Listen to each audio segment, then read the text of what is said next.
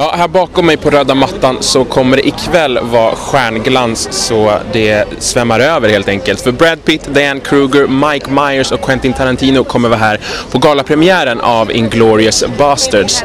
Och det är ungefär så här nära vi kommer komma eh, galapremiären för att eh, det börjar redan samlas tjockt med folk här. Why are you sitting here? Uh, for for see uh, Ta- Quentin Tarantino and uh, Jan Kruger, uh, my very uh, my director's movie uh, favorites. because we're expecting the Tarantino movie tonight, and obviously uh, everybody's expecting Brad, Jan Kruger, and so on and so forth, and possibly some special guests. This would be great. So we came up here at 6 a.m. Believe it or not.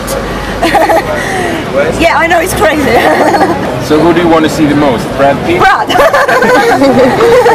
Brad, encore Brad.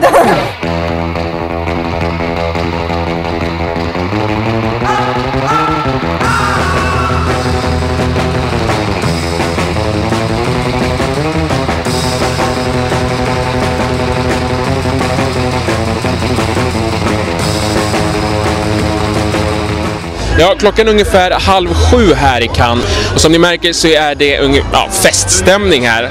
På röda mattan ikväll så kommer Brad Pitt gå bland annat och det är fullkomligen Brad Pitt-feber här idag.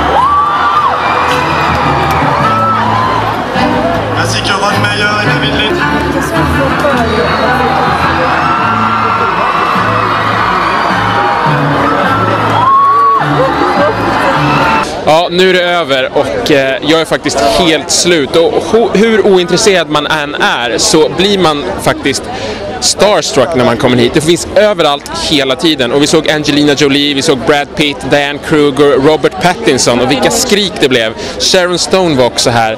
Det här är en helt otrolig festival och jag är bara glad att jag är här.